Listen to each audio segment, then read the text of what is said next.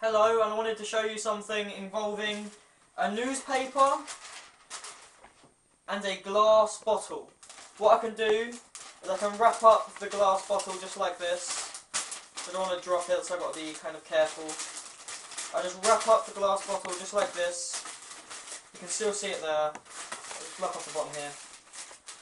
Glass bottle. I can actually make it disappear.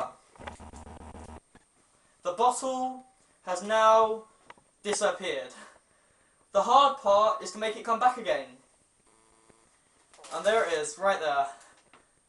You guys don't seem that impressed. I wasn't that impressed when I first saw it either. Thanks for watching.